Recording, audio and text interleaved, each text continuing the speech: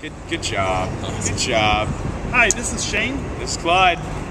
and we're Fearcast, and we're recording live at Texas Frightmare Weekend in Dallas, actually Irvine, Texas. Irving. Irving, Irvine, Irving. I think there's an Irvine somewhere in here. There's a big enough state. They probably got all sorts of stuff. There is. Really?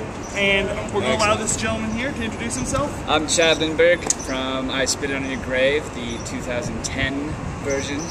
Uh, yeah, great to be here. Thank you. So what do you do with the show?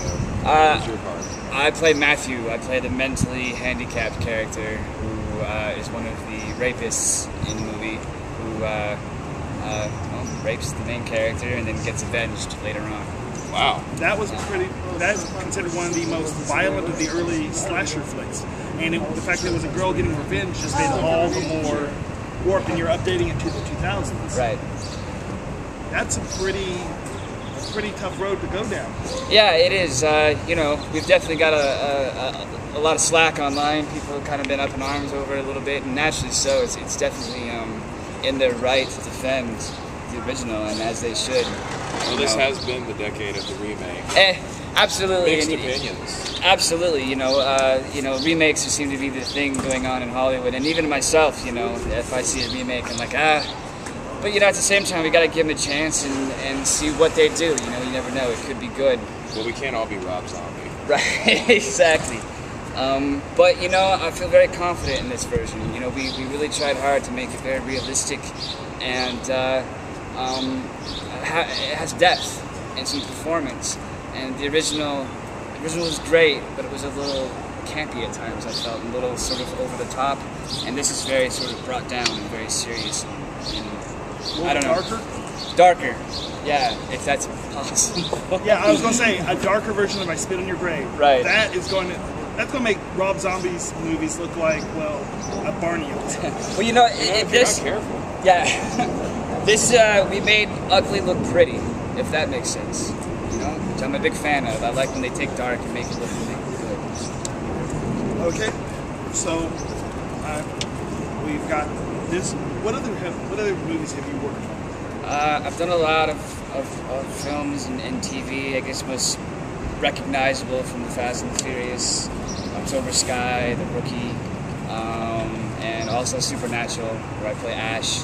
Um, so I, you know, I've done a, a lot of indie films, of course, over the years, and uh, you know, just been fortunate and lucky enough to work. How'd you get into this? I started acting in high school and uh, up in Seattle. Theater kid. Yeah, just doing theater, and then from there, uh, you know, I was like a junior and just started doing little bits in, in Seattle, and then I got a movie called Black Circle Boys, uh, and, and I got one of the leads in Seattle, and that kind of opened doors for me in LA. I moved to LA when I was 19, and fortunately, started working from there. And just living, And here you are, here I am. right? Yeah. In Texas. Yeah, man. Well, that's cool, right? Yeah, I like Texas. I mean, It's a really neat state. I just wish the neat parts were so far away from each other. I know, right? It- yes, they have a big state. You don't have to spread out that much. I know, I know, but uh, Five years to get to Austin from Dallas, and then another ten to get down to San Antonio. What's that about? I know. I, I'm a big fan of Austin. I spent three Austin's months, yeah, three months there doing the rookie uh, years ago, and I fell in love with it. I've been to Dallas a few times, and you know, it's always good times here. so when are we going to see I Spit on This fall, This fall? yeah, hopefully they're thinking September. Um, it depends on the whole rating thing right now. They're sort of okay, NC-17, are, you know, they're sort of back and back and forth. That's a really tough one. Movie ratings is always a little sticky. I mean, horror movies generally get an R just because. I Right. Mean, you could have nothing but blood in it. It could still be an R, or you might have nudity. You never know. But my dad raised me on horror movies actually from approximately about the age of eight, I guess, maybe six.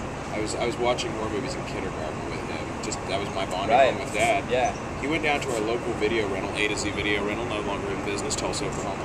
Um, and uh, my, my rental number was he, he would let me use his, and it was uh, one five nine five. But it was such a small thing that they did- we would just walk in, not show a car. It's like I'm five ninety five. I'm like, all right, we got you. Nice. And I was his son, and I'm still using my dad's account. And he actually told him, look, if he wants to rent a horror movie, even if it's rated R, that's cool. Just nothing, nothing that's like one of those Skinamax things. But Right. horror movies, that's okay. Right. But you know, you slap something like NC-17, even though that's really not for children under 17. That's all we're saying. Right. It's a kiss That's of death. kind of saying that's like the old X rating. Right. You know, you need to have the, the, the panther roar and Right. have the horrible grindhouse thing going. I don't know what the music's like. Yeah, right. R ratings, right? X ratings. Yeah, it, it'd be interesting. You know, if people hear NC-17, they're going to be like, "Well, we got to go see this now." You know, we're out of curiosity. Um, so hopefully, you know, it comes out and, and, and the studio makes it the way it should be. And so Or- far, it's on the right track. Or the other option would be, this is, I'll ask your opinion. Would this be one you think they should have a theatrical cut and then they should have the director's cut? Or do the theatrical cut to get bare, barely into an R and then actually do the real version as the DVD release? Or you think they ought to just go at it and try and go for everything all at once? If I had my way, I would say go balls to the walls in theaters. You know Do what it I'm in saying? theater, have people like freaking out. Absolutely. I would I would hope that people were like nauseated and had to leave. That would mean we did our job. you know. Um, of course, you know the, the, the higher ups don't think that way in terms of you know getting people into the seats. They're and thinking money. They're thinking money, and as actors, you know we're we're only in control of what we do on set, and then from there it's like up to everybody else. But I'm sure they're gonna do a strong R, you know, and then there will be an unrated version, of course, on the DVD Right. um, that we get to see all the other gruesome extras. So, you know, I just hope it just comes out the way it's meant to, and so people can go in theaters and see it. Is there a website for the movie? Not yet, but I think they're like within a week gonna have all that up, the trailer and all that stuff going. Is there any way we can follow If you're you listening, on get on it. Yeah, Twitter and Facebook. Yeah. definitely. Okay. So what do we look up, get up on there? On What's the what's the Twitter follow? Uh, Chad Lindberg. Just my name. Okay. Chadlin? Yeah, Chad Lindberg. What is Well, this? Chad, Where's the plan? You're probably going to be getting an ad from me and Clyde here in the next couple days and an ad to our Facebook site for our show. And we're going to have this posted hopefully here by the end of the week. That sounds good, man. I'll follow you right back. Excellent. Hey, Thank you so pleasure to much. meet you. All right, man. It's been a Super good, man. Thank, Thank you very much.